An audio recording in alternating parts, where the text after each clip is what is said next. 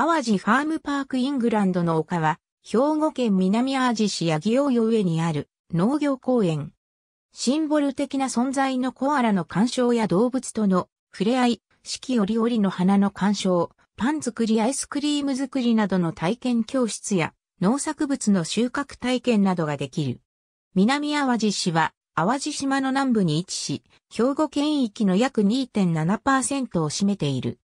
神戸市から 60km、大阪市から 80km の距離にあり、市域の中央部を本市淡路立関道が走り、大鳴門橋にて、徳島市と明石海峡大橋にて、明石市、神戸市へとつながっている。面積は229.17平方キロメートル。南部と西部はそれぞれ紀伊水道、播磨灘に面し、北部の孫山山地、南東部の譲る破山地、西の南辺寺山地に囲まれ、中央部には三原平野が広がっている。気候は年間を通じて降水量の少ない瀬戸内海気候に属し、過去10年間の都市平均気温は摂氏16.6度と温暖で、年間降水量は 1222mm となっている。淡路ファームパークイングランドの丘、駐車場付近の標高は40メートル。南淡路市は2001年4月14日2985年4月に兵庫県が兵庫県フラワーセンターの分園として開園した淡路ファームパークの既存施設を有効利用し、新たに農村型体験交流施設を整備して一体化させ、農業体験、交流、学習施設として淡路ファームパークイングランドの丘を開園した。その主な目的は農業及び農村の健全な活力を図るとともに、地域住民及び都市生活者に雇用及び安らぎの場を提供し、全国有数の農畜産物大産地の安定的、発展、地域の活性化及び農業の振興を図るためとしている。1981年6月23日に兵庫県と西オーストラリア州は友好姉妹提携協定を西オーストラリア州にて締結しているが、2003年3月21日に姉妹提携20周年を記念して4頭を、また2011年3月6日には友好提携30周年として4頭のコアラの寄贈を受けた。その後、当地での繁殖に成功し、2012年8月6日、ソラメスが誕生、2013年8月18日、第一オスが誕生した。年表園内には、シンボル的な存在として、コアラ館でコアラの鑑賞ができる。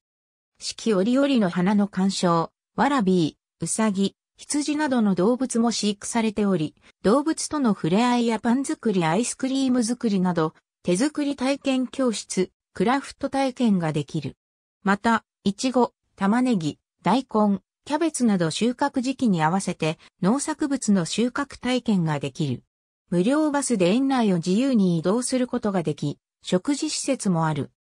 コアラ日本国内でコアラがいる動物園は埼玉県子ども動物自然公園、多摩動物公園、横浜市立金沢動物園、東山動植物園、神戸市立王子動物園、日向川動物公園と淡路ファームパークイングランドの丘の7カ所。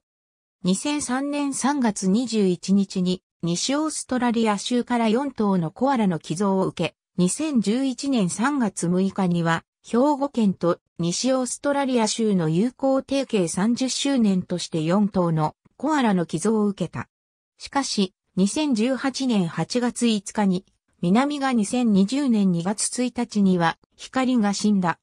2012年8月6日、空が誕生。2013年8月18日、第一オスが誕生し、2020年4月現在8頭が飼育されている。2021年2月1日に国内最高齢のメスコアラ、緑が24歳の誕生日を迎えた。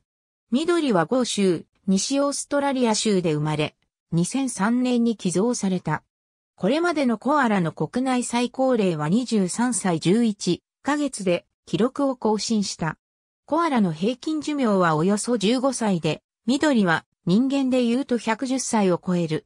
緑はギネス長寿世界記録に認定され、2021年3月14日に公式認定員による証書の贈呈式が行われた。登録有形文化財、明治時代に建造された旧三原郡役所で、国の登録有形文化財に2008年10月23日、登録された歴史的建造物。1884年、三原郡三原町市国道28号、青木の交差点脇に建設されてから1926年7月1日の軍政廃止まで使用された。その後は公共施設として転用されていたが、1995年1月17日の阪神淡路大震災で建物が半壊する被害を受けたため解体後に保存されていた。2007年に当地に移築再建された。IMTS 新交通システム2001年4月にイングランドエリアとグリーンヒルエリアの約700メートル間で園内の移動用として世界で初めて導入され、同年10月から2台隊列による無人自動運転を開始した。2008年1月31日で IMTS の運行は終了した。その後は従業員が運転するランドトレインが運行している。淡路ファームパークイングランドの丘はコアラやウサギが暮らしているグリーンヒルと湖が広がるイングランドの2つのエリアからなり、イギリスの湖水地方をイメージして作られた農業公園。農業体験や動物との触れ合いが楽しめる。四季の花々や季節野菜の収穫体験、手作り体験教室や遊びの広場での乗馬やゴーカートなど。ありがとうございます。